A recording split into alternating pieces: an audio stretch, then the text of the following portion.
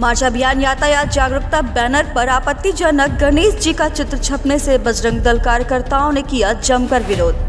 हिंदू संगठनों का सक्रिय विरोध बढ़ता देख जिला प्रशासन आया अपनी हरकत में। बजरंग दल कार्यकर्ताओं ने बैनर से गणेश जी की फ़ोटो हटाए जाने की मांग करते हुए ज़िले के एसपी को सौंपा ज्ञापन। यातायात पुलिस को तत्काल प्रभाव से ज़िले के सभी स्थानों से बैनर हटाने के एसपी ने दिए निर्देश। कोतवाली अकबरपुर क्षेत्र के कस्बा अकबरपुर ओवर ब्रिज का मामला। ये देखिए सर ये जो है का वो बैनर लगा है जिसे कई जगह जहाँ गणेश जी का फ़ोटो है उसमें लिखा है कि